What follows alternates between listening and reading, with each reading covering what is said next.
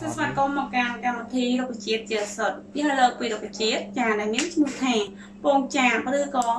គេហៅថាពីងចាបផ្នែកនៃការប្រើប្រាស់គេអាចរឹសនឹងរុក្ខជាតិទាំងមូលការព្យាបាលដាំទឹកហូបសម្រាប់ព្យាបាលដូចជាបញ្ហាបាក់ឆ្អឹងខ្លោះនិងឈឺសន្លាក់ឆ្អឹងខ្ទមសាច់និងឈឺចុកទ្រុងមូលឈឺបំពង់កនិងរលាកតងសួត ឬគឺដាំទឹកសម្រាប់ព្យាបាលដូចជាជំងឺ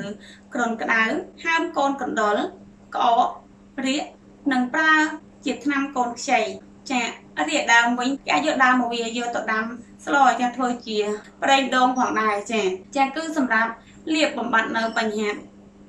ដូចជាអង្គែនិងបន្តក់នៅក្នុងក្រជាចាដែលក្នុងក្រជាដែលឈឺឬគឺសម្រាប់ដាំទឹកផឹកពី6ទៅ10 2ក្រាមសម្រាប់ព្យាបាលហាមកូនកណ្ដុរប្រើខាងក្រៅដូចជាស្លឹកបុកបិទនៅលើកន្លែងដែលមានដែលមានខ្ទមសាច់ចាកំណត់សង្កលចាបើសិនជាយើងប្រើលើសលើសកម្រិត30ក្រាមចានឹងធ្វើឲ្យយើងក្អួតចង្អោរ